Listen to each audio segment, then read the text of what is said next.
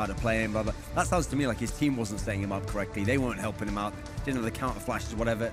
This was classic Guardian. I think when you think about it, that uh, Luminosity managed to make it 40, 14 16 with Talent only managing 10 frags. Yeah, but Fair Speak actually for went ham the whole Yeah, he- for, them, a- for them as well. So yeah, maybe this Fall didn't. Yeah, maybe Fall didn't show up, but you know at least Fair did. And someone else who showed up was flamie. We've got a clip of him here.